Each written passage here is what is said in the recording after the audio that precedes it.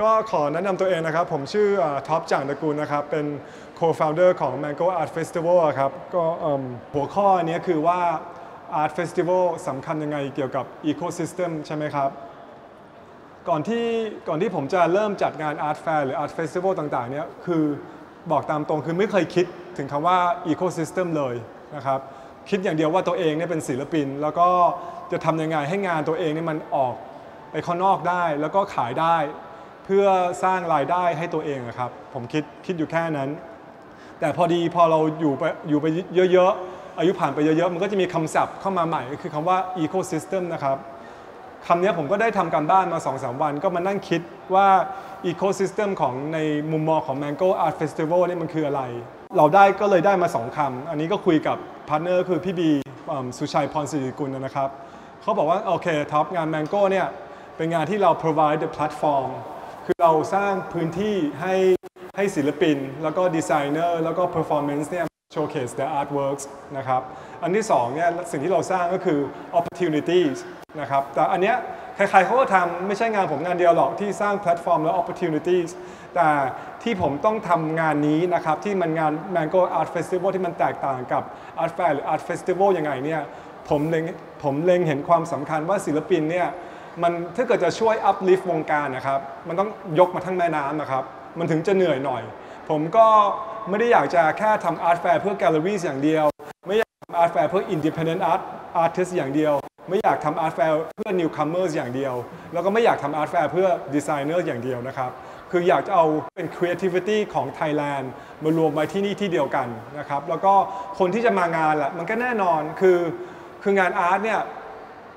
กระเป๋ากระเป๋าหนักกระเป๋าเบามันก็ไม่เหมือนกันใช่ไหมครับแต่อย่างน้อยๆเนี่ยถ้าคนไหนสะสมงานมาเยอะแล้วมีทุนเยอะก็ยินดีครับซื้องานสูงๆแพงๆได้ แต่คนไหนที่เป็นเริ่มที่เป็น new ที่เป็นคนที่ newbies หรือ first jobbers ที่ต้องการงานศิลปะไปตกแต่งคอนโดหรืออพาร์ตเมนต์ของเขาเนี่ยก็ more than welcome ที่งานนี้ด้วยกันนะครับผมคิดว่ามันเป็นเป็นสิ่งที่สำคัญที่เราช่วย uplift วงการ ผมได้ทำ Mango Art Festival มา 4 ปีนะครับ ปีที่แล้วเนี่ยมันมีคำศัพท์ที่จะเริ่มเริ่มเข้ามาในในอีเมล ใน Instagram หรือแม้กระทั่งอืม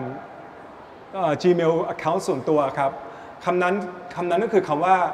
partnership หรือ collaboration พอคำนี้เข้ามาเนี่ยผมก็ทางทีมเนี่ยพอดีทีมผมก็ต้องเข้าใจนะครับ ถ้าเกิดมันมีอะไรผิดพลาดเนี่ยก็ขอโทษมาก ๆ เลยว่าทีมทีมเรามันเล็กจริงๆอะคือเราทำเนี่ยคือเรา พยายามทำทำงานให้มัน profitable ด้วยครับ ก็ทีมก็อาจจะดูแลลูกบูธบางคนไม่ทั่วถึงโอเค แต่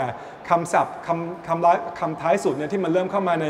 ใน Mango Art Festival คือคำว่า collaboration กับ partnership อะครับ ซึ่งสองคำนี้เป็นคำที่สำคัญมาก แล้วก็ปีที่แล้วเราก็ได้นำนำศิลปินตัวหนึ่งไปออกมอซ่านะครับ อีกส่วนหนึ่งก็ไปออกที่ Art Future เราก็ได้ sign MOU กับเมืองจีนนั่นคือมันก็จะมี possibility ที่สามารถจะเอางานของเราเนี่ยไปเมืองนอกได้ แต่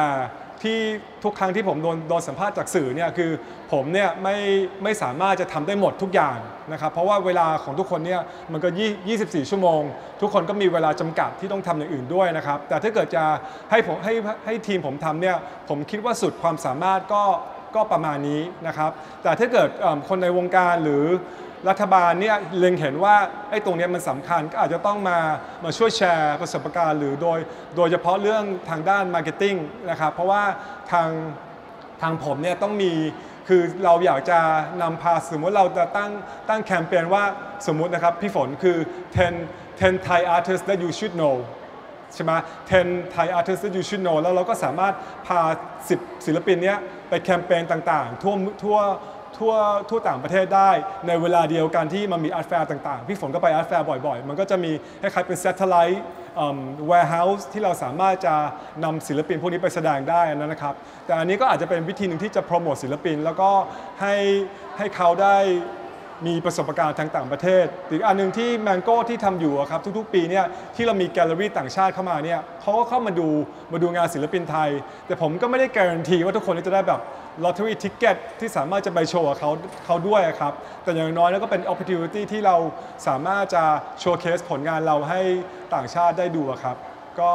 ในมุมมองของ Mango Art Festival ใน Ecosystem ก็กลับไป repeat อีกทีนึงนะครับ สิ่งที่เราสามารถจะ contribute ได้ก็คือ เราสร้างแพลตฟอร์มให้ได้ให้ศิลปินได้ แล้วก็ opportunities สำหรับศิลปินที่จะขายงานนะครับ แล้วก็อีกอันหนึ่งสเต็ปต่อไปที่เราจะพยายามต่อไปคือคำว่า partnership กับ international ครับ ขอบคุณมากครับ